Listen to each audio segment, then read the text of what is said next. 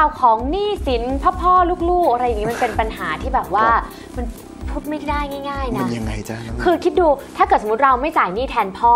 คนก็หาว่าเราลูกอกตันยูอ่านั้นถูก แต่ถ้าเกิดสมมติว่าพ่อสร้างหนี้ซ้ำแล้วซ้ำอีก เออ แล้วถ้าเราต้องจ่ายไปเรื่อยๆ อันนี้ยังไง อยู่ดีๆนะคะดีว่าแห่งเกาะฮ่องกงค่ะ โจอี้ยงหรือว่ายงจูเอิร์นะคะ ตกเป็นข่าวในแง่ลบ หลังจากที่ทางธนาคารได้เข้ามาทวงหนี้สินจำนวนมากที่พ่อของเธอก่อเอาไว้แต่ไม่ยอมจ่าย ล่าสุดตัวแทนของธนาคารก็เข้ามาเจรจากับยงจูเอิร์นะคะ ถึงบ้านในหมู่บ้าน Happy Valley นะคะ ที่เธออาศัยอยู่ด้วย ล่าสุดค่ะนักร้องสาวเสียงดีก็ได้ออกมาพูดถึงปัญหาหนี้สินที่เธอถูกทวง ทั้งๆที่เธอเนี่ยไม่ได้เป็นคนก่อด้วยตัวเองเลยละค่ะ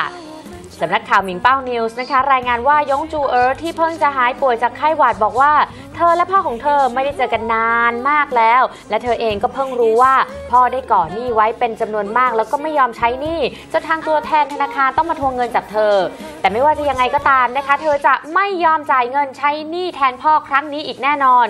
ซึ่งเธอก็ไม่แคร์ด้วยว่าการไม่ใช้หนี้ให้พ่อนั้น จะส่งผลกระทบต่อหน้าที่การงานในวงการของเธอหรือเปล่า เพราะมันเป็นคนละส่วนกันค่ะ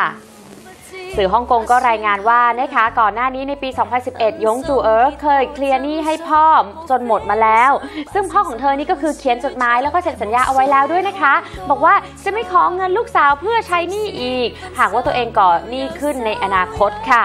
ทางด้านงานทั้งในวงการเพลงและงานแสดงของหยงจู่เอ๋อนั้นเงียบๆมาได้สักระยะหนึ่งแล้ว โดย Little Day ผลงานชุดล่าสุดของเธอ วางจำหน่ายในปี 2013 แต่ว่าช่วงปลายปีนี้เธอก็จะมีการเดินทางไปเปิดคอนเสิร์ตที่สหรัฐอเมริกาเป็นจำนวน 2 รอบ ในวันที่ 20 และ 27 ธันวาคมค่ะ